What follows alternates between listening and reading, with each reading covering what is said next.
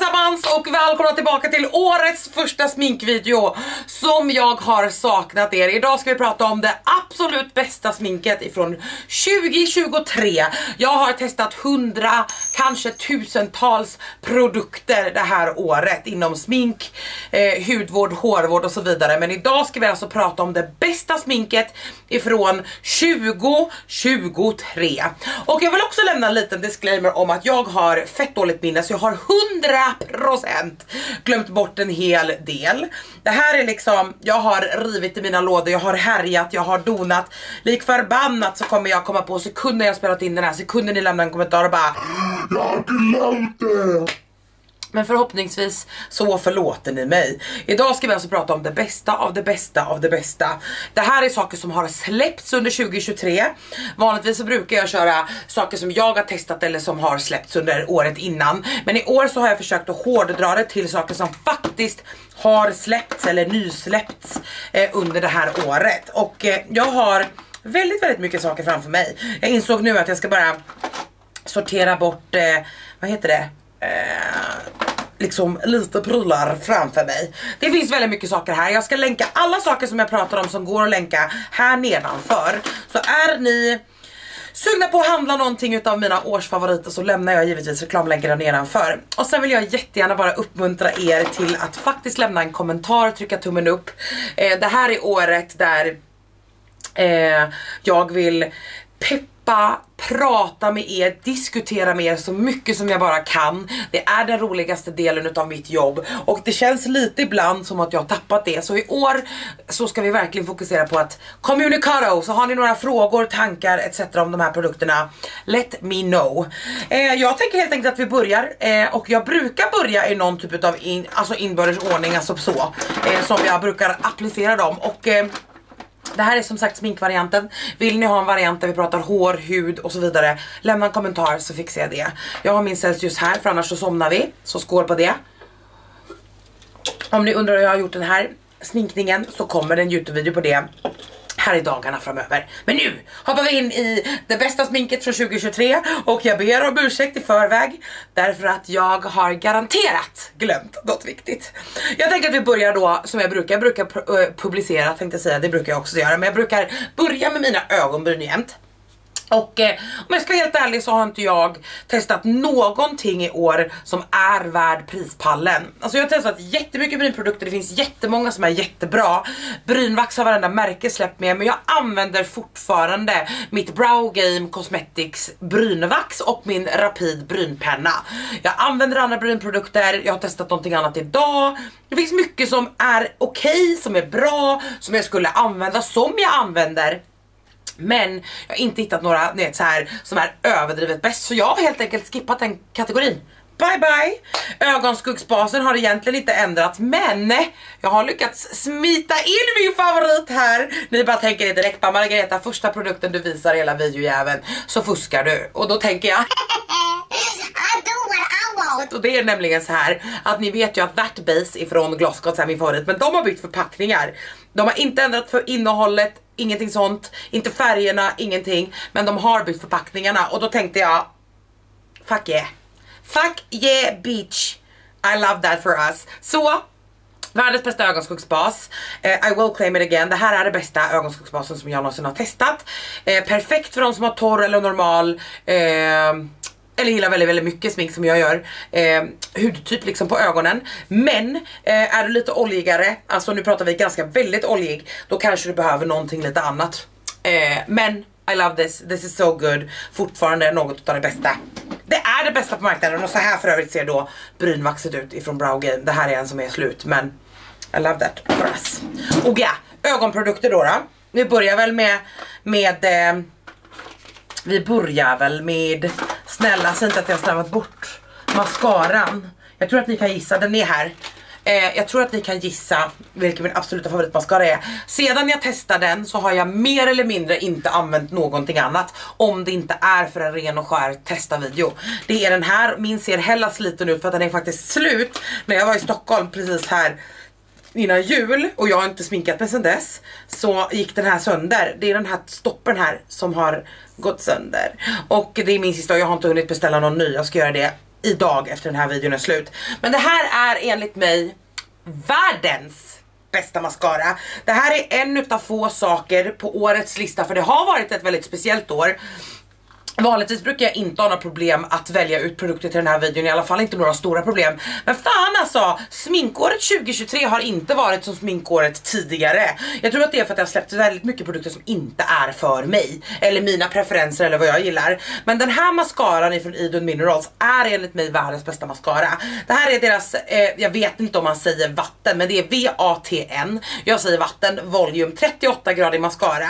Det här är alltså en mascara som är 38 gradig Eh, och det betyder helt enkelt att den försvinner om du har varmt vatten, 38 grader eller mer. Då bara ramlar den av i klumpar, så det blir inte svart, det ramlar inte ner, det flikar inte under dagen.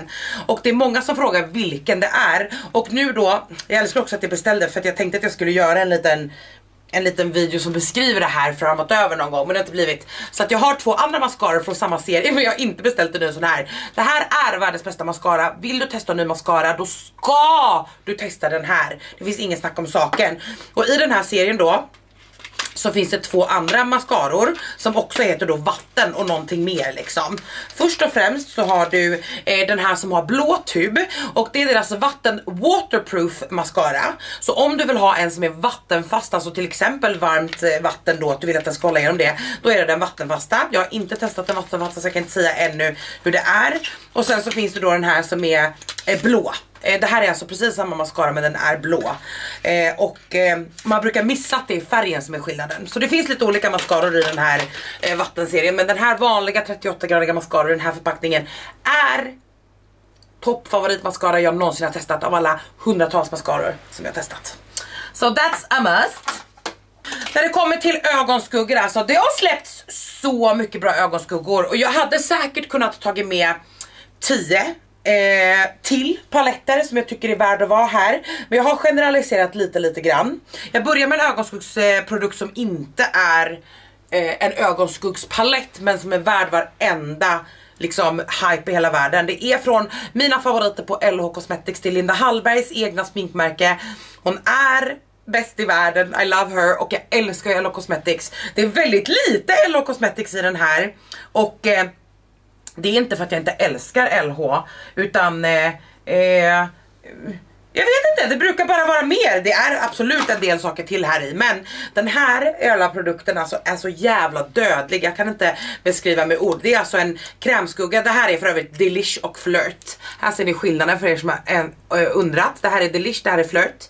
Eh, Flirt är alltså varmare och Delish är kallare, rosa. De här har jag använt så jävla mycket i eh, i år så det finns inte, alltså jag vet inte hur många gånger, typ Ja men alltså jag kan inte beskriva mig, det här har varit min go-to ända sedan de släpptes och det är också en av deras bästa släpp någonsin, det bara måste vara det. Eh, det jag egentligen gör är att jag lägger över hela locket och sen så tar jag bara fingret och bara plupp, plupp, och sen är det färdigt och det blir bara, det går liksom inte att göra fel och det sitter hela jävla dagen. Absolut bästa ögonskuggs, eh, eller ögonprodukten i hela den här videon. Om jag bara får välja, om, ah, om, om jag får välja den här eller en ögonskugga då hade jag valt den här. De här glittrarna för de är så överdrivet jävla bra. Så I love that. Gud jag har en så awkward längd på min lugg. Den är lite för kort för att ha bakom öronen så jag blir tokig. Men den är också lite för lång för att jag ska palla ha den i ansiktet. It is what it is. De här är ytterligare ett måste. Jag tror ärligt talat om jag skulle ha ett, en, två enda måsten i hela den här videon så skulle jag köpt en sån här glitterskugga och den här mascaran. Och det kommer jag snart att bryta. Snart kommer jag säga och jag skulle köpt den här och den här och den här och den här. Jag har också en singelskugga. Det är väldigt ovanligt för att vara mig. Varför poppar de här in då? Jo, för att de här är så jävla fina. Samma princip som krämskuggorna fast puderformat och minst om inte ännu finare. De är lite, det är olika vibes. Det här är alltså eh, Charlotte Tilburys Hypnotizing Pop Shot. Easy color to make your eyes pop. Och en av de här har jag tagit sönder. Det är inte den här, det här är Pillow Talk. Eh, som är, alltså jag kan inte, jag ska swatcha båda. Och den andra har jag precis spräckt på, på riktigt typ igår när jag använde den här. Eh, jag kan bara trycka tillbaka, jag har liksom så. Fördelen är att de är ganska mjuka. Så det är lätt. Så här ser de ut bara när man pillar på dem, men kolla här nu. Ja. Died Dead, R.I.P. Me. Alltså de här är så fina. Det här är ett, några av de finaste, jag ska ta en liten baby wipe här. några av de finaste skimmerskuggorna jag någonsin, palett, singelskuggor och så vidare jobbat med. Svinenkla att jobba med. Älskar förpackningarna. Och det här är perfekt för alla som vill ha en enkel festlook som inte går att göra fel. De här två, det är bulletproof. De här kan vem som helst använda och lära sig att använda. Och de här är också så jävla fina. Och den färgen då, den här lite mer champagniga som jag pratade med, den heter Diamond Eyes Eh, och de här säljs exklusivt på eh, Charlie Tilburys egna hemsida. Jag kommer länka alla produkter inklusive den här här nere eh, om ni är sugna. Men de här är så satans bra. Satans satans bra är de, verkligen. Eh, jag har ju givetvis eh, en palett ifrån Glossgods med mig. Glossgods har släppt så mycket fina paletter, jag hade kunnat tagit med allihopa men jag valde den som ni, ni kommer förstå det snart. Det här är en av deras nyaste släpp och eh, eh, det är väldigt mycket typ i samma formula och sådär men de har liksom den här är liksom eh, wow. Jag vet att jag släppte ju tidigare en palett, nu ska vi se det är tre år sedan, det är snart fyra år sedan, jag vet inte. Är det fyra år sedan? Motherfucker vad fort tiden går, nej det måste vara tre år sedan. Eh, där jag släppte en palett som heter Incendio tillsammans med Gloss Gods. och det är den här paletten fast det här är liksom remixen uh, med crack i. Eh, alltså om Marielle och de som har skapat Gloss Gods påstår att den här inte är inspirerad av Incendio som tyvärr inte går att få tag längre nu. Eh, då ljuger de och eh, jag är så glad att de gjorde det för kolla här. Ni som vet och har varit med länge, just nu kanske blått och grönt är mina favoritfärger men de här färgerna är enligt mig världens bästa ögonskuggsfärger och den här formulan, alltså wow! Effektskuggorna ifrån Glosscots är något av det finaste vi har på hela den här jorden och eh, den här, just den här, exakt den här paletten är lite nyare för att jag hade ett exemplar som jag använde i några veckor och sen så gav jag bort den till en vän och köpte mig en egen, alltså en ny så att den här ser inte så använd ut men jag har gjort massor utav looks alla looks som är varma sedan typ, jag vet inte, jag kan jag ha fått den då för jag fick den tidigare från Glossgold sen när den släpptes. Eh, september kanske jag måste ta av strumporna, jag är så varm i det här sminkrummet. Eh, ja men i alla fall september kanske, jag vet inte. Det här är verkligen en helt sjukt fin palett och alla de här, ni vet, den här heter alltså om jag inte ens sa det, Gal on Venus. Alla de här fyra paletterna som heter Gal on är helt ljuvliga och Gal on the Moon bland annat och så var med förra året i årsfavoriterna och Glosscouts bara gör det igen. De här är så fucking fucking bra. I cannot. Och det är också liksom någonting väldigt väldigt unikt. Jag har tänkt när jag har valt de här eh, paletterna till den här videon att det inte ska vara liksom så här sju matta paletter för att då blir det liksom så här är det verkligen det bästa sminket då men ögonskuggor är ju överdrivet det som jag testar mest eftersom det är mitt favoritsteg när det kommer till smink. Men jag har en till palett som är lite liksom viben är samma fast väldigt annorlunda och det är från LO Cosmetics. Oh, jag sa ju när jag sa det innan jag bara det är inte så mycket LO Cosmetics här i år. Eh, ja, det är så fucking mycket LO Cosmetics. Och det här är då deras, eh, de kall, vad kallar de de här fyra? Ja, men hur som helst, de har, de har en sån här fyra med deras effektskuggor sedan tidigare. Och det här är då deras senaste variant. Eh, och den förra var också med, Basic Elements heter förra va? Och det här är då Siren Song.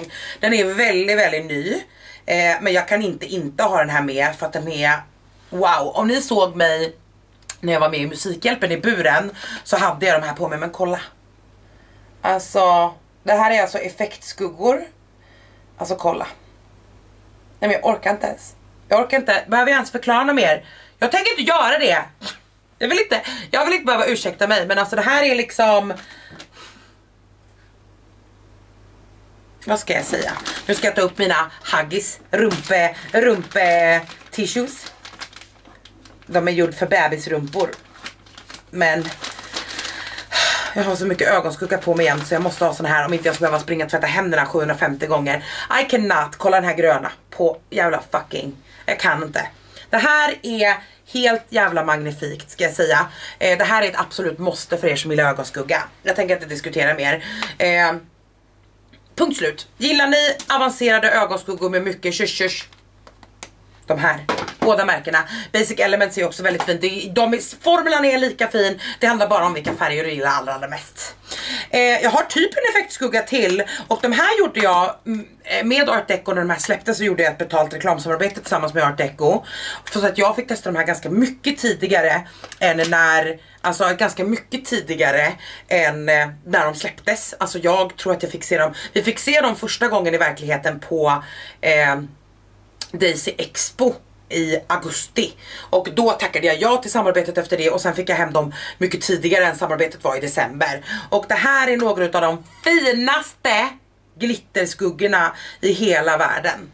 Alltså jag älskar glitter och jag fattar liksom typ inte hur jag fattar typ inte hur fina de här är. Alltså de har både, alltså det är tre skimriga, tre glitter i varje. Glittrarna är några av det bästa som är. Ni vet att jag har älskat Pixies Glittery Icods, jag har älskat eh, NYX har en sån här pressad formula. Ingen är lika fin och lätt att jobba med som Art Decos nya. Och de här heter alltså Glittery Eyeshadow Palette. Den här är Made to Sparkle och den här heter Rosy Gemstones. Jag tror tyvärr att de här är hella limiterade. Limited edition, kolla bara framsidan. Glitter eller? Ja de är så fina. Det här är de bästa glittrarna. Alltså jag pressade glitterna som finns. Så Köp de här medan de går att få tag i är mitt största råd. Ifrån Hello Cosmetics också så kan jag inte låta bli att säga att de har verkligen gått, de har släppt ganska många paletter i den här. Jag älskar Smoke It Out, jag älskar den nya Creator paletten.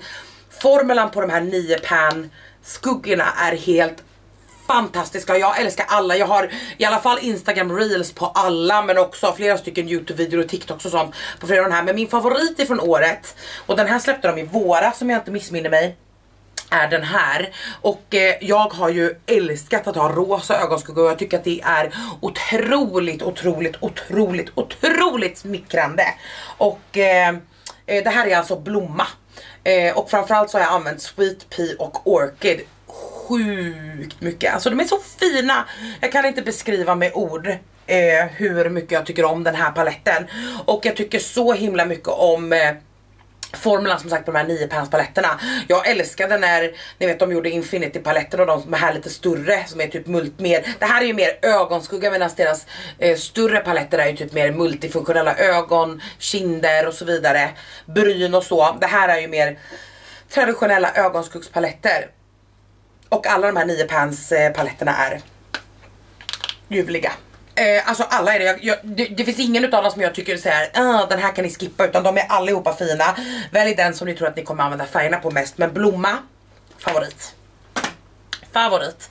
Och sista ögonskuggspaletten och jag hade kunnat ta med fler men det här är den paletten utav deras släpp som jag har använt absolut mest. Eh, de har en och den, jag vet inte vad den är, alltså jag har letat här nere eftersom, eftersom jag inte har varit här nere och jobbat på över två veckor. Eh, så kommer jag typ inte ihåg var jag har lagt saker och det ser ut som fan här nere tills jag liksom har betat av lite content som jag planerat att spela in och sånt. Och jag hittar inte den ljusrosa paletten och jag minns inte heller vad den heter. Men Kimchi Chick som jag älskar, ni vet att löspudret är min favoritlöspuder genom tiderna. Eh, de har släppt flera stycken olika paletter. Den här heter Holy Shorts och den här ser ut så här. Eh, och det här då är deras färgsprakande palett. Den ljusrosa har lite mer typ pasteller och sånt i sig också men också väldigt färgglad. Den här är så himla fin. De gröna är ljuvliga, de rosa är ljuvliga. Jag önskar att det var lite färre rosa, alltså det är ganska mycket av de samma matta rosa. Men utöver dem så är formulan jättefin och de släppte typ fem stycken paletter i det här släppet. Bland annat har de också en som heter typ någonting med cola, cherry cola, någonting sånt som är så rödbrun, oh burgundy och den är också jättefin. Så vill ni ha bra paletter till lite billigare pris för de här är definitivt i det lite billigare spektrat. De kostar fortfarande en del, skål. Men inga vansinniga mängder. Eh, så de här jätte, jättefina och jag gillar ju verkligen så här stora paletter med mycket färg. Här kan jag också göra oändligt mycket looks om jag till exempel ska iväg och sånt. Eller om jag ska iväg och inte vet vad jag vill ha för färg på ögonskuggan så gillar jag såna här paletter och det händer fan mer ofta än vad man tror. Så det är ögonprodukterna eh, helt enkelt och det pratade jag om typ i 15 minuter så hoppas att ni gillar ögonskugga hörni. Jag har en till ögonprodukt, jag kanske har något mer här i. jag har två stycken minst till. Alltså Margareta. För det första, eh, den här lilla jäveln Eh, är relativt ny, jag fick den här också ifrån Makeup Store eller Lyko då som äger Makeup Store innan den släpptes. Så jag har använt den här ett ganska bra tag. Men jag tror att jag har hittat en ny fransböjare som är min favorit. Det här är Makeup Stores nya fransböjare och jag har använt den idag. Eh, men jag har, åh, gör inte sådär när ni har mascara på er hörni. Jag tyckte att jag drog bort den. Eh, det här är bara en så trevlig fransböjare. Och framförallt så är det en sjukt trevlig fransböjare som är lite billigare. Min favorit, oj, nu limmar jag ihop dem. Min absoluta favorit eh, är ju Shiseido men ett, den är dyr, två, den är typ alltid slutsåld och eh, det är liksom inte så hållbar, eller vad ska man säga, vem som helst kan inte köpa en ny fransböjare för 500 spänn eller mer liksom vad den nu kan kosta. Men den här kostar strax över hundringen tror jag det är och den funkar riktigt bra och det är skillnad på fransböjare ska jag säga. Alla fransböjare är inte created equally och den här från Makeup Store har jag verkligen, verkligen tyckt om. Den har också en jävligt schysst böj som jag gillar som passar min ögonform väldigt mycket. Så jag gillar den här jättemycket så det ett hot tips. Väldigt sällan jag har ett sånt typ av eh, produkttips i en sån här video för det är sällan det är någonting som sticker ut tillräckligt mycket för att förtjäna att vara med i en eh, eh, års favoriter. Men jag tycker det är så kul med nyheterna som Makeup Store har släppt. Det är i alla fall minst en Makeup Store produkt till i den här videon. Sista grejen, förra året pratade jag vet jag och det har fortfarande varit en favorit under året men förra året pratade jag väldigt mycket om Duff Lashes, deras nude kollektion eller vad man ska säga, deras, ja och jag älskar fortfarande dem jättemycket, de kostar väldigt mycket pengar. Och då var det någon av er som rekommenderade det här till mig tidigare i år. Och det här är alltså Ardell eh, fransmärke liksom numero uno egentligen världen över. Och det här är deras naked lashes. Och det här är deras naked lashes, jag tog bara, det finns typ sju stycken olika naked lashes. Det här är de tre som jag oftast använder.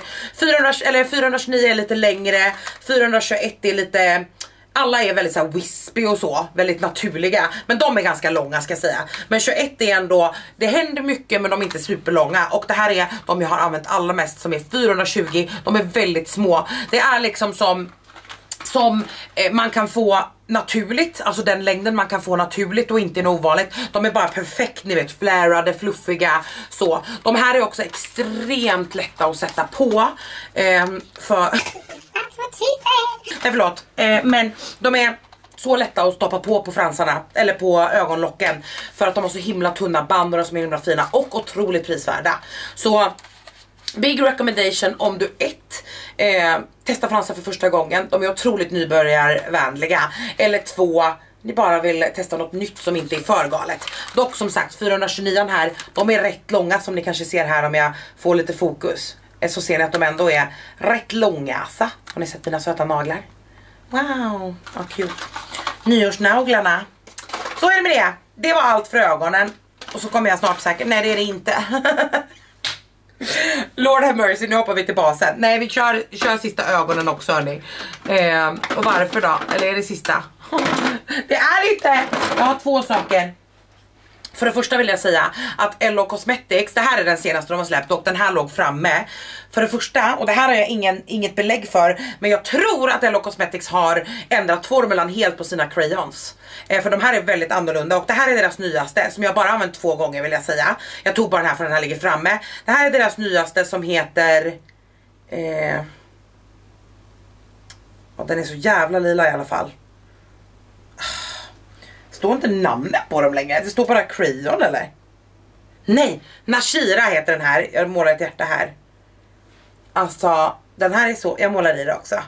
Det här är en skimrig lila. Den hade jag också på Musikhjälpen dagen om ni undrar om vad ni har sett den innan på mig bland annat. Det här är alltså en skimrig lila och jag vet inte, jag har inte använt de skimriga lika mycket som de matta eller de utan glitter i, men de är så krämiga, jag sitter fucking hela dagen. Och eh, de nya, alla de nyaste, jag fick också en i budet när de släppte Smoke It Out paletten tror jag och något mer i år har de släppt. En grön har de släppt också som jag har använt väldigt mycket. Jag kommer aldrig ihåg namnen på de här. Som sagt jag visste inte ens vart man kunde läsa det. Men den här lila är fan dödlig och de är så krämiga nu, de är så lätta att jobba med och jag måste, jag kom på att jag är tvungen att skrubba bort den här nu annars så sitter den där där tills jag, jag vet inte, får ny hud. Var sjunde år eller vad man säger. Svinbra crayonsen. Men jag måste också lyfta de här, jag gjorde faktiskt ett betalt reklamsamarbete tillsammans med Rare Beauty, hur fett, i eh, somras. Och då fick jag välja typ vilka produkter typ som jag ville prata om. Och då hade jag precis förälskat mig de här och har använt dem sen dess. Det finns tre stycken färger men en av dem är faktiskt redan slut. Så jag har bara den bruna och den svarta. Men det här är alltså Rare Beautys gel eyeliners. Och de här är, och den här börjar också ta slut ser jag nu. Skit också. Det här är alltså gelpennor som man målar på dem, sen kan du smeta ut dem bla bla bla och när de sen har torkat då går de ingenstans. Du behöver ha en heavy heavy olja för att ta bort dem. I vattenlinjen, runt ögat, alltså you name it. De sitter som berget. Den bruna är en av de finaste bruna kajalerna jag någonsin har testat. Den heter True Brown och den heter True Black. Den sista färgen som jag redan har tagit slut på är typ lite såhär burgundy rödbrun typ och den är så, är den så fin och det här är några av de bästa om ni vill göra en sotad eyeliner med kajalpenna så är de här 100% värd prislappen. Kan vi säga. Nu tror jag, och jag har ljugit säkert igen, jag tror att det där var sista ögonprodukten. Ska vi börja då med basen som från början till slut. När det kommer till primers så har ju det här varit ett katastrofår för primers. Inte en jävla primer så långt ögat kan nå som duger. Milk Makeup eh, Hydro Grip är fortfarande min eh, privata, privata. Det är min favorit som jag använder mer eller mindre varje gång jag sminkar mig. Måste klia mig på benet, viktigt. Eh, Budgies Prep Talk har för fan utgått. Det är det sjukaste i den här jävla världen. Jag vill inte ens prata om det. Eh, men när jag satt och tittade på mina videor, vad har jag använt mycket och jag tittade på min TikTok och så, då är det en primer som jag typ har glömt bort nu. Eh, alltså den kom kanske typ halvvägs in i året så att den har inte varit en favorit hela året och nu har jag inte sminkat mig som sagt typ sen i början av december, kanske så. Så jag har typ glömt bort den lite men den här är för jävla bra. Det här är återigen eh, lite billigare, vilket jag är glad för för det är väldigt mycket high-end i årets favoriter. Det här är By Lyko och deras Grip That Base Primer. Och det här är alltså en eh, primer, jag kan inte swatcha allting. Det här är en primer eh, som ska funka lite likt, ni vet, eh, eh, lite likt Mm, luktar så gott också. Inte direkt parfymigt men luktar gott på något vis. Lite likt Milks eh, Milk Makeup Hydro Grip och så. Den är liksom kladdig eh, och ska alltså greppa tag i sminket och fästa sminket eh, så gör att sminket håller bättre hela dagen. De släppte också en lystergivande primer i samma veva eh, och den är också jättebra, älskar den jättemycket men den här gripping primern har jag verkligen liksom, eh, vad ska man säga, jag har verkligen greppat efter den. Många, många, många dagar har jag till och med tagit den här framför Milks Hydro Grip. Även om det verkligen, vill jag verkligen säga, fortfarande är min all time favorit. Så den här är sjukt bra. Vill ni ha en prisvärd, superbra primer som kommer funka på typ alla torra, normala, oljiga så rekommenderar jag verkligen den här. Och eh, vill ni ha en lystergivande primer så kör på det. Jag brukar i regel ha så himla mycket lyster, lyster i ansiktet ändå. Du vet såhär oljiga foundations, lyster, highlighter, you name it.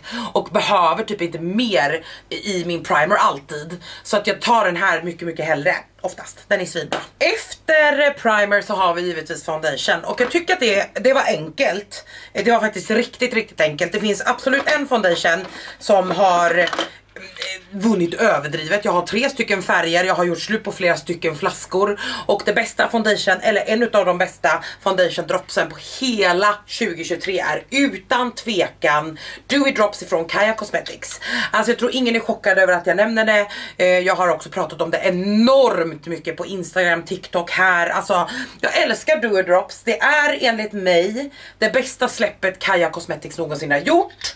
Jag förstår verkligen vad Bianca säger när hon säger att hon inte använder någon annan foundation än Dewy Dropsen typ. För det här är verkligen överdrivet bra. Jag har 10, 20 och 40 W och 40 W köpte jag från början för att använda det typ lite mer som bronzer. Men ibland så droppar jag i dem lite i de andra om, om de är för ljusa och så. Men eh, 10, 20 och 40 som sagt och jag älskar den här. Jag kan inte förklara med ord vad det är som gör att den är så bra. Jag har sagt hela året alltså hela hela året att eh, eh, den ersätter inte NARS Light Reflecting Foundation som är min all time favorit. Med det sagt fan alltså jag använder den här så sjukt mycket mer än NARS just nu. Och jag vet att det går i omgångar, du vet, jag vet inte hur ni funkar men om man har lite fler saker med, jag säger att ni har tre bronzers hemma för att ni har fått den i present och ni har köpt den och sen så eh, fick ni en i en, eh, jag vet inte, adventskalender. Och då liksom, ibland så använder man liksom bara en bronzer, ibland blandar man, ibland man gör man. Och den här, jag har inte kunnat sluta använda den här. På hela fucking året.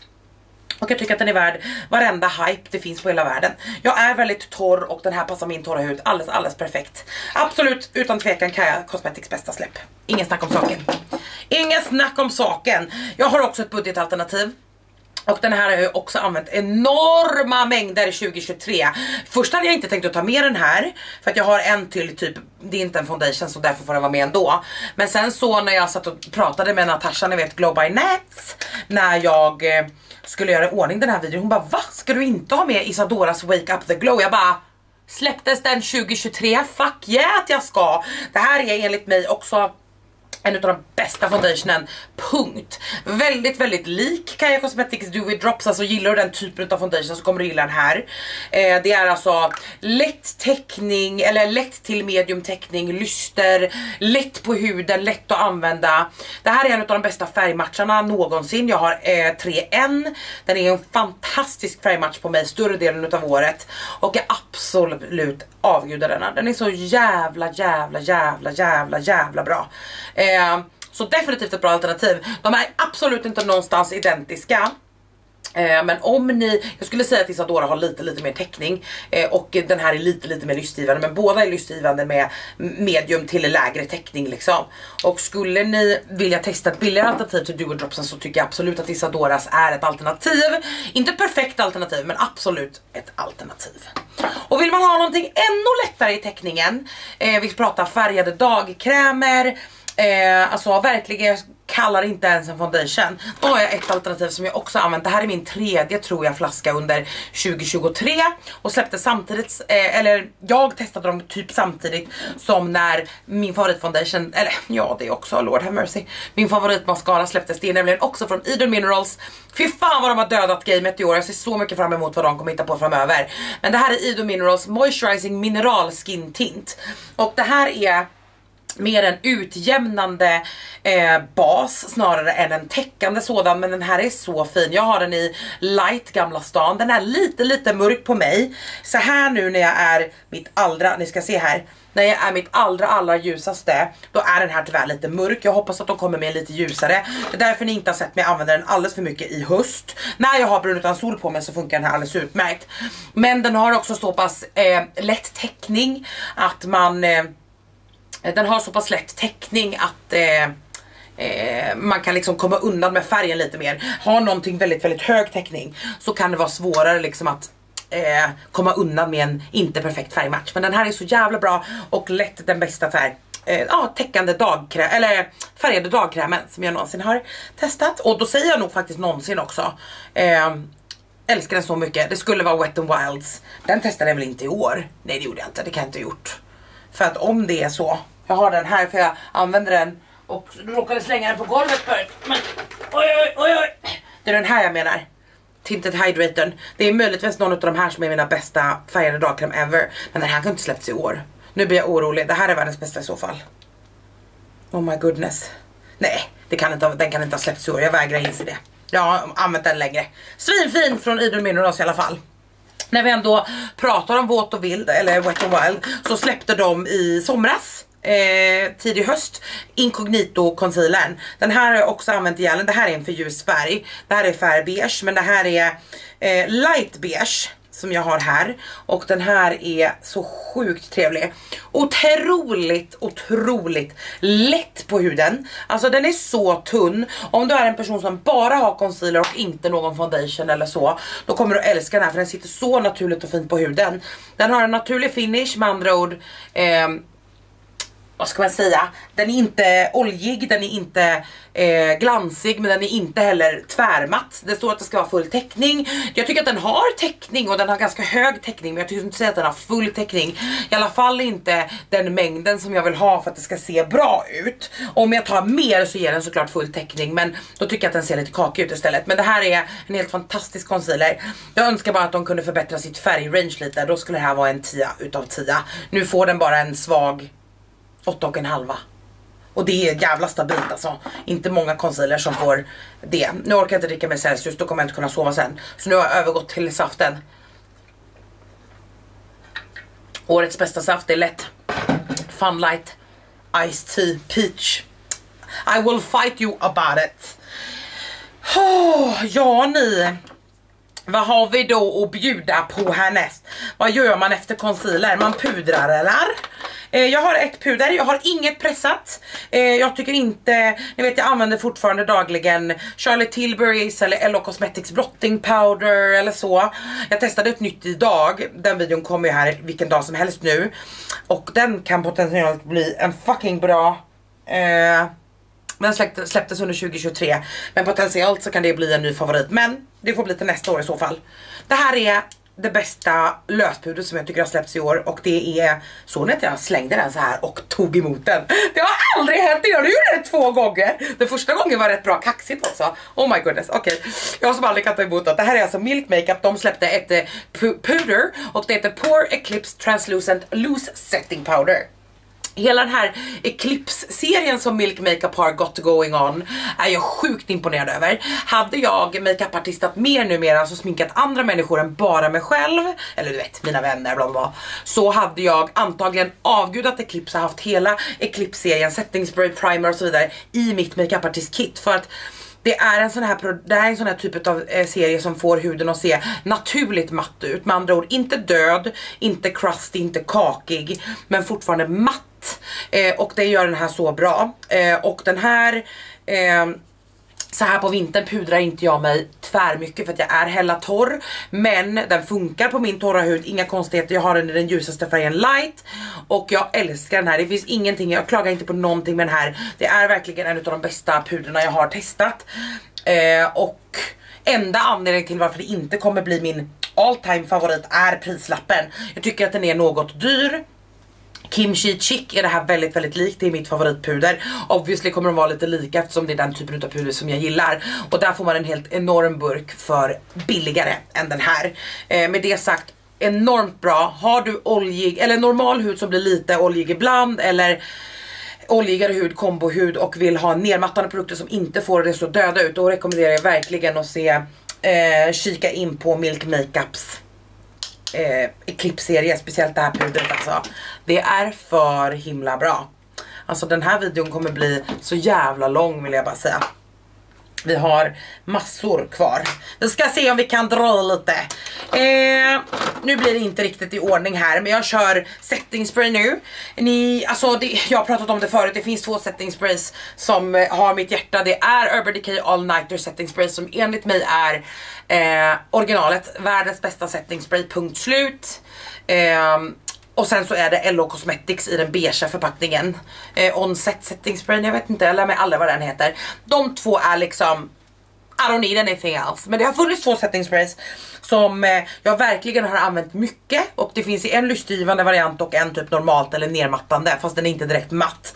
Och det är Makeup Store setting spray. Makeup Store släppte setting spray matt och setting spray shiny. Och jag har använt de här supermycket.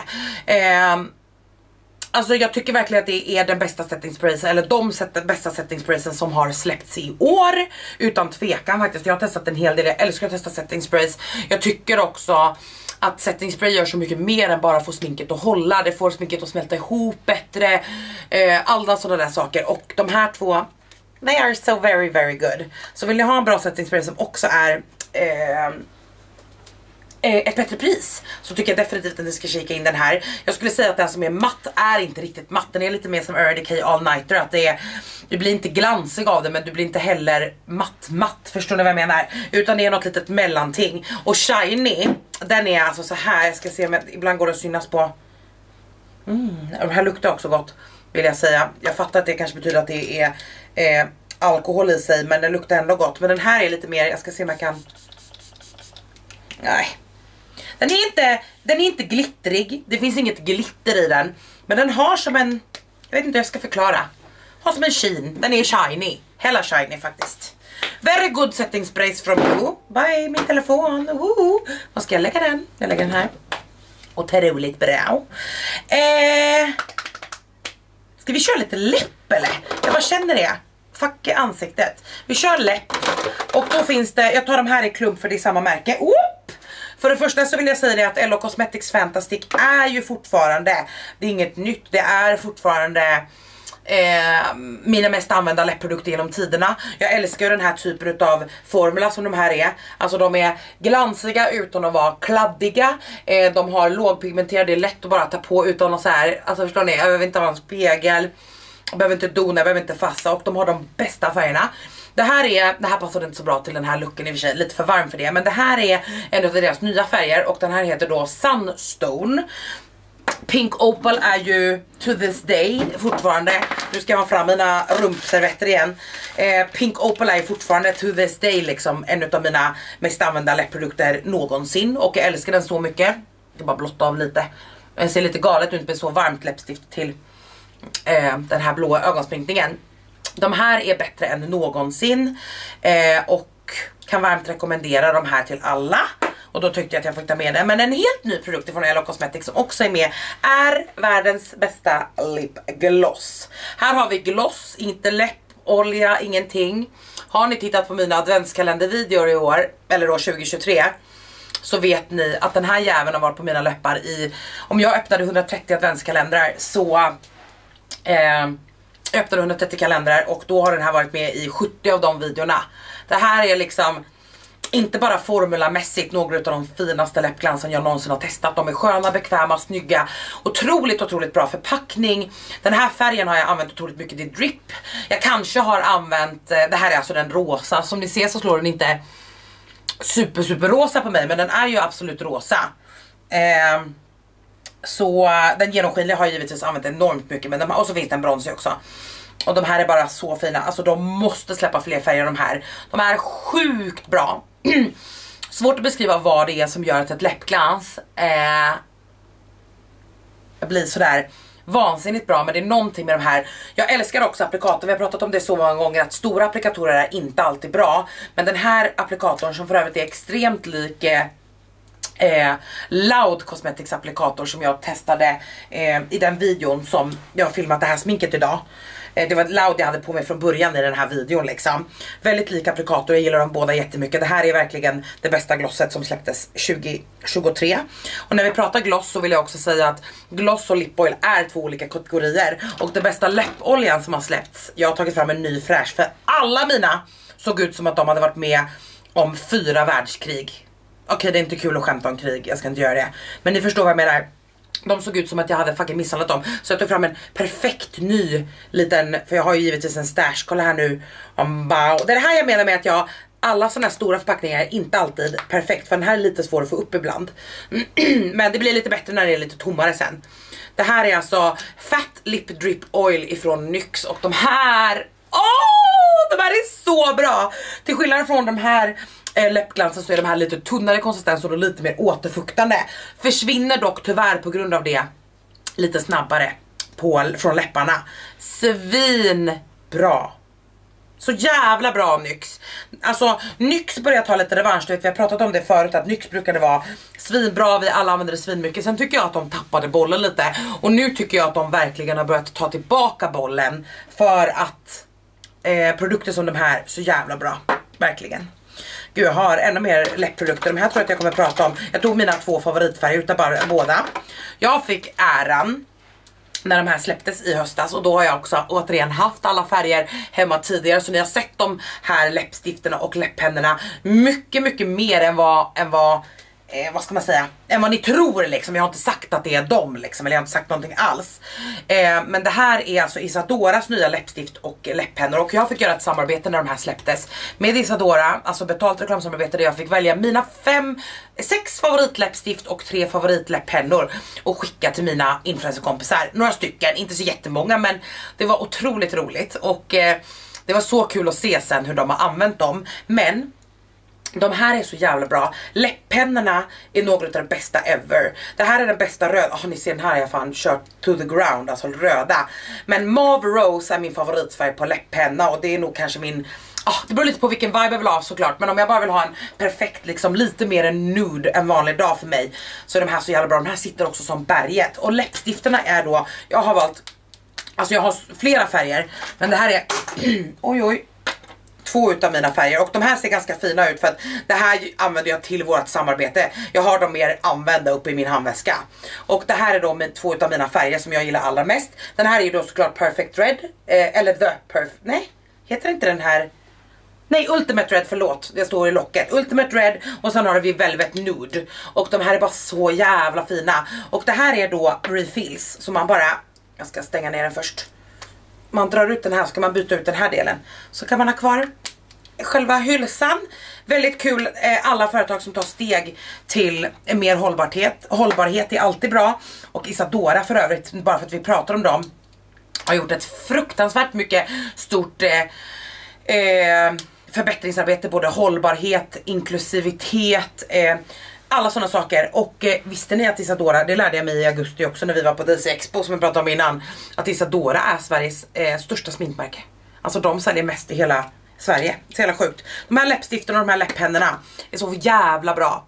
Alltså 10 utav 10. Jag har absolut inga klagomål. Eh, fantastiska färger, fantastiska formula. Läppstiften är satinläppstift, alltså ett mer traditionellt läppstift. De är inte glansiga, de är inte helt matta utan det här mellan steget. Sista läppprodukten är en riktig lyxgrej och på grund av att jag tog med Isadora som bästa läppstift så tog jag ett matt läppstift eh, utav de här båda formlerna ifrån det här märket är så bra och jag har ju då gjort en video givetvis där jag testar allt smink ifrån Prada. Och det här är alltså läppstiftet och just den här som jag håller i då är deras Hyper Matte Lipstick. Det här är också ett rött som jag har använt flera gånger i december och när jag spelar in kalendrarna. Alltså så jävla snygga förpackningar och kolla den här. Ooh. Mm, de här luktar också gott. Pradas läppstift alltså. Jag tyckte att mycket från Prada var bra men läppstiftet, speciellt de här matta, men båda formerna är så fina. Och den här röda som jag har då, som heter, kan inte läsa så här lite namn. Jag brukar kunna namnet på det mesta men jag kan inte på läppstift i huvudet. Eh, men det här är i alla fall deras true red eller vad man ska säga. Eller nej det är det inte, det är deras varma röda. Kolla bara, åh! När jag åker utomlands här nu snart i slutet av januari då ska jag ta med det här för det här, tänk dig den här när man står i djungeln liksom. I will, I will do that for myself. Läppstiftet ifrån Prada. Jag rekommenderar er verkligen att titta in Prada-videon om ni inte har gjort det. För jag har väldigt intressanta tankar om märket generellt. Men det här läppstiftet har hängt med. Eh, och jag absolut adore it. Eh, så jäkla fin. Nu har vi då egentligen kindprodukterna kvar. Eh, jag har en palett och eh, egentligen är det väl tråkigt att ta den här med, gud vad den skit, jag måste, ta, jag måste torka av den innan ni får se den. Egentligen är det väl tråkigt att den här är med för det är en limiterad produkt och jag brukar inte ha med limiterade produkter. Men eftersom det här märket har så mycket paletter året runt, även om inte exakt den här. Jag tror också att den kanske fortfarande går att köpa men Hourglass gjorde en jävla homerun med deras julkollektion i år alltså. Den här är så, det här är Jellyfish, det finns också en med en eh, Snake, vad heter det på svenska då? Orm och en med eh, eh, Leopard. Skål och välkomna hörni. Äh. Mm. Jaft. Eh, men den här Jellyfishen är den jag har använt allra mest. Och de här ser ut som att de inte, ah, jag kliar här. Äh, det ser ut som att de här inte är använda och jag har använt dem så mycket. Jag har använt dem så himla mycket. Eh, och de här är, den är så bra. Paletterna från Hourglass är inte alltid 10 utav 10. Men alla tre var så vältänkta och så bra i år. Och anledningen till varför ni inte har sett mig använda ormen är för att den är lite för mörk för mig. Bronser då? Jag har egentligen, vi kan ta bronzer och contour i ett. Makeup by Mario slog på den stora trumman. Ni vet att Milk Makeups eh, bronzer stick är mitt favorit och det är det fortfarande. Men för år, Makeup by Mario, det här är en av de sakerna som också verkligen sticker ut ifrån Makeup by Mario. Det är krämbronsen, den heter mer specifikt Soft Sculpt Transforming Skin Enhancer All Over Warming Complexion Tint. Holy motherfucker i light. Eh, och det här är då, har den här lika lampan. Soft Sculpt Shaping Stick Contour Stick i färgen light. Hatar den här lilla jävla borsten. Eh, men jag kan prata om dem i ett för att, åh oh nej den börjar den här ta slut nu. Åh oh, shit. Eh, det här är i alla fall, nej. Margareta Gräs. Mother Pooper. Det bara kludda i den här. Åh! Oh! Eh, jag har den här bronsen på mig faktiskt idag. Lite svårt att säga kanske för att jag har så mycket annat smink på mig. Men eh, ah, den här är slut alltså. Shit jag har använt den här mycket för sig. Trodde inte den var så nära slutet. Men det här är i alla fall, alltså det är bara, det går att få upp lite till. Jag ser att den är mörk här i. Men det här är kontorsticket och krämbronsen ifrån Makeup by Mario. Och de här alltså krämprodukterna ifrån Makeup by Mario. Och wow vilken homerun. Jag har använt dem enormt mycket. Så trevliga, så bra, älskar förpackningarna. Trots att de är vita, vilket jag klagade på i, i eh, videon, så är de inte kladdiga eller fula eller skrapade så, utan det har verkligen använt en bra plast som inte, alltså det blir inte mer skitigt än en svart förpackning liksom. Älskar, älskar, älskar och jag tycker återigen, har ni inte sett Makeup by Mario videon så borde ni definitivt se det. Det är en av mina mest visade videor som inte är en vlogg och så, på hela året. Och med all rätt, för det var så mycket roligt ifrån det märket. Och jag har testat lite mer Makeup by Mario, har bland annat highlighter på mig idag ögonskuggsfasen och så i den videon som kommer sen. Men Riktigt bra krämprodukterna ifrån Makeup by Mario och där räknas även in tycker jag krämrogen och dem, de är också jättefina. Men jag har andra saker som jag har använt mer när det kommer till krämrouge faktiskt. Eh, en annan bronzerprodukt som jag har är ju då givetvis eh, Ello Cosmetics eh, Infinity Bronzer. Det här är deras puderbronzer. När jag testade den här så tänkte jag den var bra, Inget mer med det. Sen så använde jag den bara sporadiskt några gånger. Och sen av en slump så var det någon av mina tjejkompisar som bara hej. När vi var här och du vet någon kväll drack vin eller om vi skulle ut eller jag vet inte. Ja det här är ganska många månader sedan. Och då så sa hon kan jag få testa? Eller Cosmetics bronzer. Jag bara absolut, går du och lånar den? Och den var så jävla fin på henne och då fick jag som ett så jävla awakening. Och bara vad är det du säger? Och sen har jag använt den här fucking nonstop. Jag var i, jag var i Stockholm i eh, mitten utav eh, december för att fira Matilda, min momager eller manager Matilda, hon fyller 30 och då hade jag den här och du vet du jag brukar aldrig få en jävla komplimang för bronser men det fick jag. Och då tänkte jag, brukar jag ha så ful bronser att nu då så tycker ni att den är jättefin. Men oavsett, den här är så jävla fin. Superfin. Eh, satinig, fin, inget glitter, inget skimmer. Men, eh, inget glitter, inget skimmer men en helt fantastisk eh, lyster i huden. Älskar. Highlighter finns egentligen två olika varianter. Det här är två stycken utav samma men eh, i två olika färger. Eh, den senaste av dem som heter Pillow Talk Glow är ny, eller jag har inte haft den så jättelänge. Den här har jag dock använt trots att det inte syns sen jag köpte den för väldigt länge sedan. Jag gjorde en video då också om jag inte missminner mig. Det här är i alla fall Moonlit Glow och de här är den typen av highlighter som jag gillar ni vet. Det är hella beaming. Pillow Talk är lite mer rosa och eh, Munligt det är mer en ljus champagne och de här är så fina. Gillar ni en, en riktig blinding highlight ni vet så det bara bränner, då kommer ni älska de här. Eh, dyra ja, värd varenda krona, jag tycker det. Och jag har en highlighter till, det enda som är tråkigt med den här jäveln är att jag kan inte ta med den någonstans för det här händer. Nu ska vi se här sönder. Det här är Rare Beauties highlighter eh, och det här är i färgen Enlighten och alla och hans morsa eh, har ju då tagit sönder den här. Alltså det är, alla, den går sönder för exakt alla inklusive mig eh, och jag tycker bara att det är så jävla synd och tråkigt. Eh, jag hoppas verkligen att de fixar förpackning slash formula för att highlighten i sig är något av det finaste. Alltså Margareta 2016, ni måste typ få se det här. Hon skulle döda för den här. Alltså nu har jag ganska mycket highlighter som ni ser men ni kommer snart att se att det är en annan typ av highlighter helt. Jag tar här uppe. Ser ni? Kolla. Men jag orkar inte. Det här är, åh gud jag har så mycket highlighter nu, tror att jag inte ska filma dem mer idag. Men alltså den här är det här är en av de finaste highlighterna på marknaden. Jag skulle vilja ha den som är steget mörkare också för när jag har lite lite tan, nu är jag verkligen superblek, då är den här lite för ljus. Men jag tycker bara att det är så synd att formulan är eh, så jävla mjuk för den går sönder så lätt. Eh, krämrouge, jag har också slängt i krämbronsen för vi tycker vi kan prata om det här i klump. Det är nämligen Hiccups krämprodukter. Vilken jävla homerun. Ett av de bästa släppen ifrån Hiccup någonsin. Mina ser bra banged up ut. Det här är eh, Vintage Rose och vad heter bronsen ens? Golden Truffle. De har varit slutsålda mer eller mindre sedan dagen de släpptes och så fort de kommer in i lager så försvinner de igen. Så krämiga, så fantastiskt härliga att jobba med. Fantastiskt fina färger.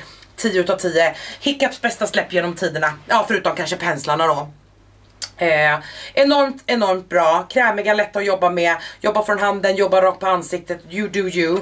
Och det här är det bästa krämblushet som har släppts under det här året tycker jag. Och det säger jag då bara för att vi pratar om krämprodukter till exempel från Makeup by Mario lik förbannat så vinner Hiccup det här. De är så fina att jobba med. Fina på bar hud, fina på foundation, eh, även fina på puderprodukter. Vilket jag tycker är absolut ljuvliga. Och där, hörni, motherfuckers, så är årsfavoriterna inom smink slut. Jag tycker typ att jag har ganska lite saker ändå. Har jag bladdat på här en timme typ eller? Och jag eh, är så sugen nu på att höra vad era favoriter är, vad tycker ni om de här produkterna, har ni testat något av det här? Jag vet ju att många av er givetvis har testat de här, det har vi ju pratat om hela året. Men jag vill så gärna höra, jag har länkat alla produkter jag pratar om här nedanför. Eh, och om ni undrar någonting, har några frågor och så vidare, hojta till. I will let you know down below. Eh, tack för att ni tittade på dagens video. Eh, som sagt glöm inte för fan att kommentera era favoriter nedanför för jag vill så gärna höra. Och såklart se till att säga till mig om jag har glömt något. Jag har glömt något. Jag vill bara veta vad det är jag har glömt. Bra, tack för idag så syns vi igen i min nästa video. Mwah!